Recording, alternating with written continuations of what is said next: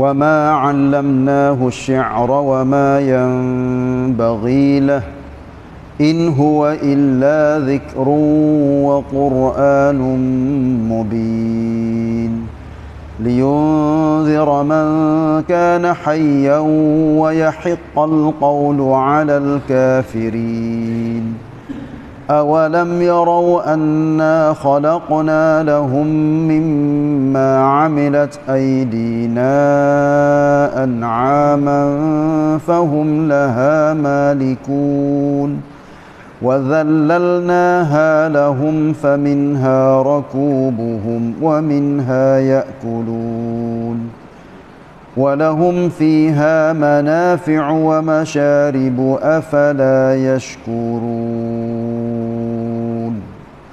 Ayat 69 sampai 73 surah Yasin.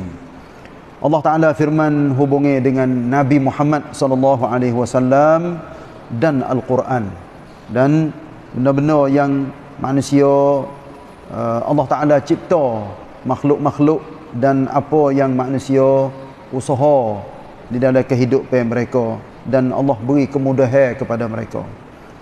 Ayat 69 ni Allah Taala firman sebagai nak menegak ataupun nak menegaskan bahawa Nabi Muhammad bukanlah penyair. Bukanlah seorang ahli syair. Nah, pandai sebut klon ataupun syair patung gotu gani Nabi Muhammad bukan macam tu.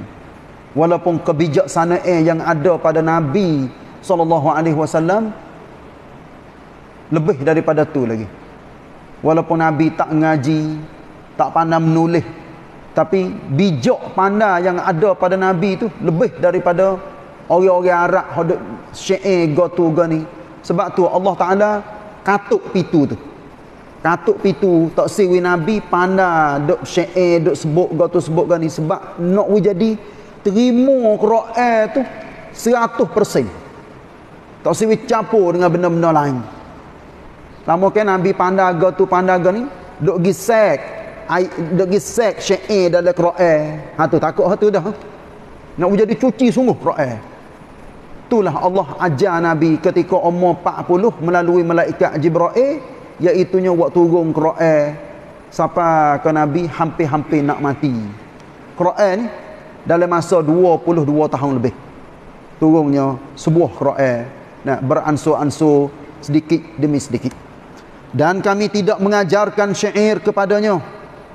Dan kepandaian bersyair itu pula tidak sesuai baginya. Sebab apa?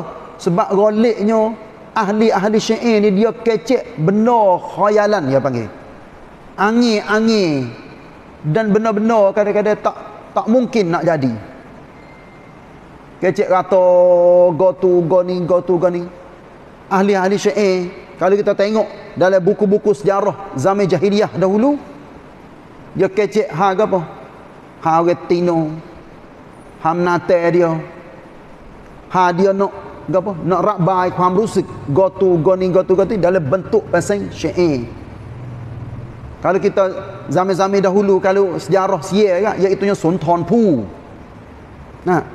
Ha tu. Siapakah hari ni orang masih lagi duk puja-puja dia sebagai bidaheng. Bahasa Thai yang pandanya apabila dia sebut gotu goni gotu goni. Alam Melayu tempat kita ni kurang hidup. Melayu tempat kita Melayu taning lah maksudnya. Syair-syair ni kurang hidup. Patung-patung sebab kita tidak dididik tidak diasuh pasal itu.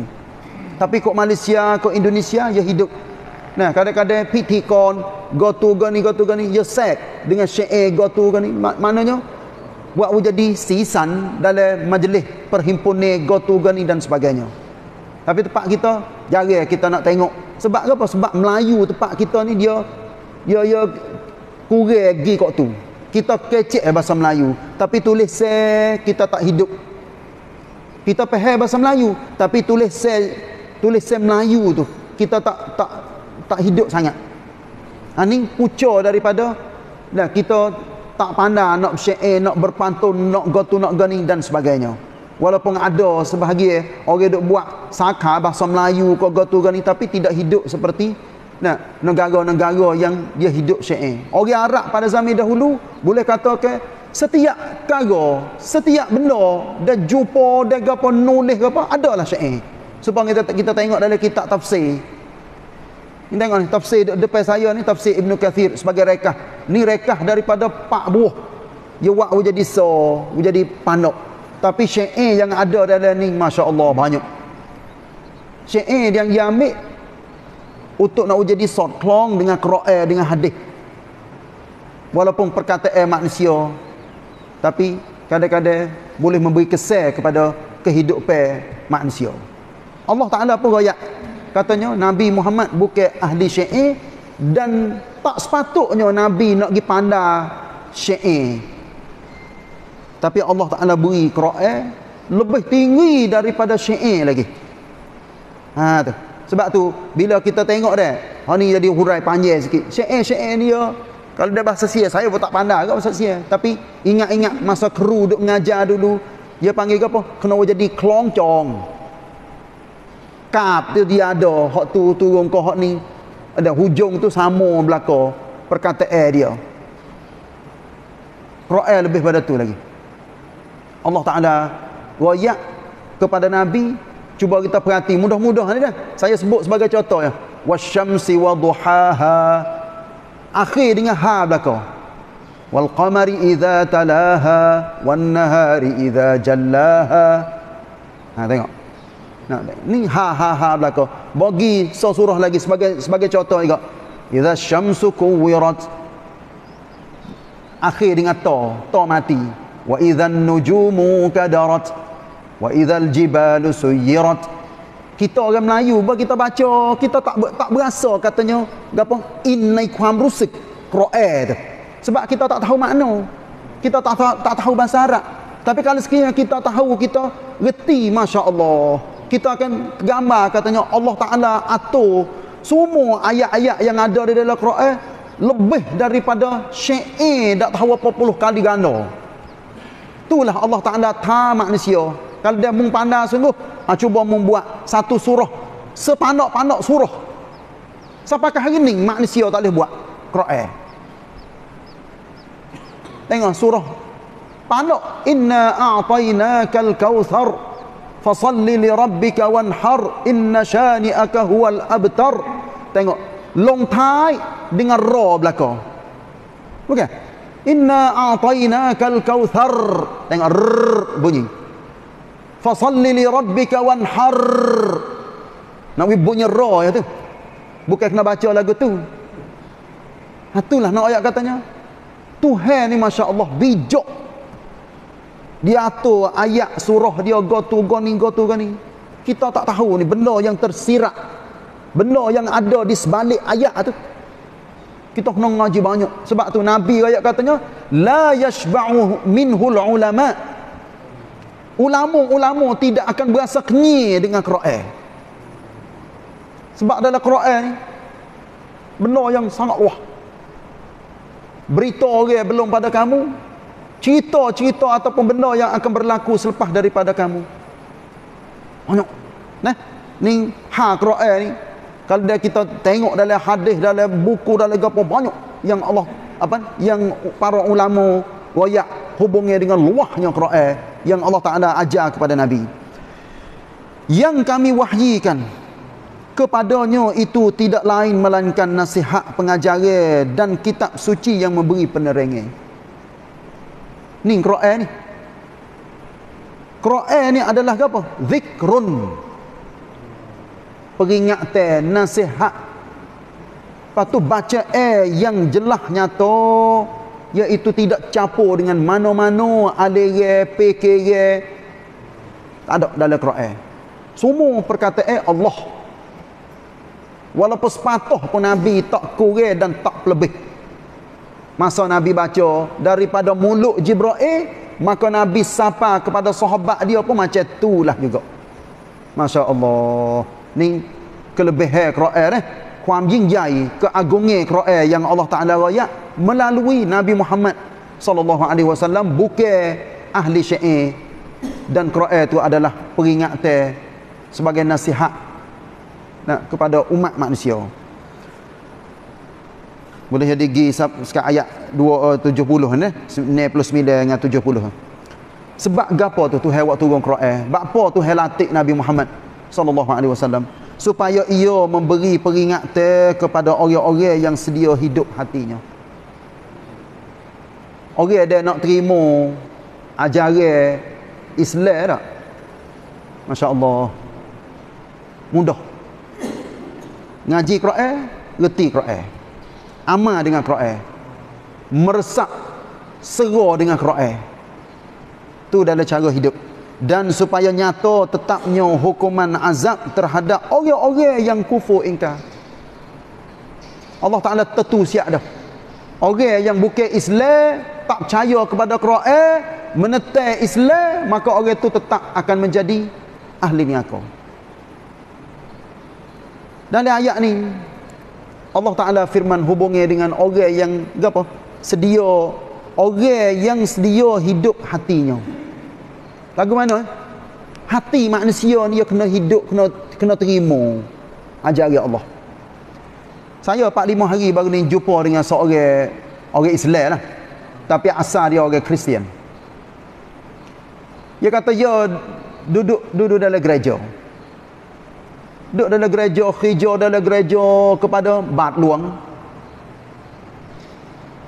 Tiba-tiba dia kata dia berasa dia tidur dia berasa kata ada orang mari royak kepada dia ha Islam dia cari Quran. Ni dia masuk Islam 10 tahun dah tapi dia duk royak. Dia katanya dia mula-mula baca Quran. Dia ni adalah orang totan Islam pada asal Beci kepada orang Islam dan beci kepada agama Islam. Buka Quran mula-mula sekali tengok pak dia kata ha kena sungguh kali orang Islam lagu ni. Kena lagu mana? Kena kau tak kena. Ha, lagu mana? Saya kecek tak ada balik dah. Kena kau tak kena. Dia katanya dia buka surah Fatihah, surah Al-Fatihah. Ihdinas siratal mustaqim. Tunjukkanlah kepada kami jalan yang lurus dia pergi pahas sendiri katanya jalan tu orang Islam duduk tak kena. Sebab tu kena duduk minta dengan Tuhan sokmo tunjuk jalan yang yang lurus. Do lama pula. Dia duduk pahas pahas sore dulu. Pahas Quran sore. Lama dia pergi buka dalam suratul nisa. Wa khuliqal insanu dha'ifa. Manusia dijadi dalam keadaan ilmu Ha, ya, ya mula dah. Ni nak ayat katanya Allah Ta'ala mula nak buka hidayah kepada dia.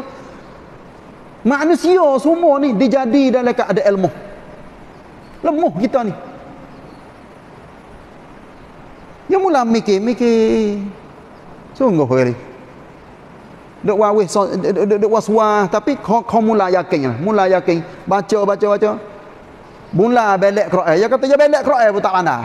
Sebab apa? Ya suan tangnya. Quran ni kena mula alik kanan, gi alik kiri. Surat tu apa? Ki, kiri ke kanan. Ya belek, belek, belek, belek, belek, belek. Masya Allah. Temung surah Qul huwallahu ahad. Ya baca.